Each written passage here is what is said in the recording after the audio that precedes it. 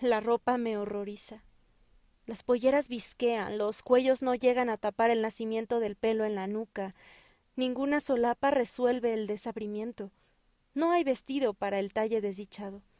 Ningún calzado corrige a los chuecos o a los patizambos. Ninguna prenda da altura o confiere gracia, ni ahuyenta a las malas pesadillas. Comprar ropa es un mísero expediente para remendar la vida. Muy pocas veces en mi historia personal me sentí lo que se dice gratificada por una prenda sobre mi cuerpo. Nadie pudo convencerme nunca de que algo me quedaba bien sobre los hombros. Invadida por el trauma vestimentario, nunca quise escuchar halagos, como por ejemplo que todo me quedaba bien, que cualquier color me sentaba, y que no había moda que no me cayera a la perfección desoyendo cualquier apreciación reparatoria de mi terror vestimentario, siempre me vi ridícula con las modas. Incluso no me produjo consuelo oír que mis amigas me decían, cuando me soltaban las prendas que ya no usaban, que yo tenía cuerpo de pobre, es decir, que todo me iba, me caía o me sentaba, y comprobar esa ductilidad las hacía sentirse muy generosas y desprendidas, y yo me salía de sus casas con mis tesoros, los llevaba a mi ropero y allí los condenaba a estar colgados para siempre.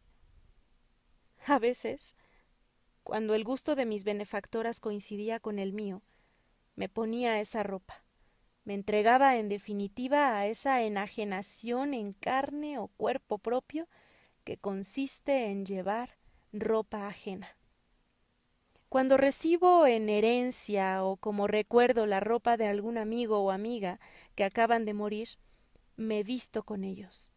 Tengo la sensación de que los llevo puestos y hasta siento llevar sus mortajas, pero no me da miedo o aprensión, sino consuelo, como si en una suerte de ingenua transmigración se hubiesen depositado en una manga o pretina o una valenciana.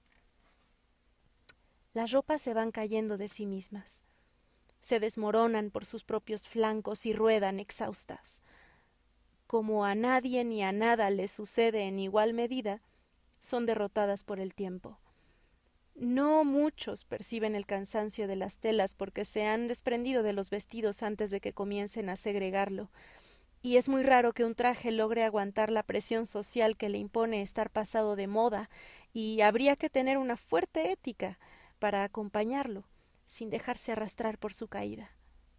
He vivido pendiente de mis ropas, de las ropas ajenas que llegaron a ser mías, de las ropas de mis amigas y amigos muertos, de las ropas que otros me cedieron para no condenarlas a la desaparición o por dadivosa veleidad.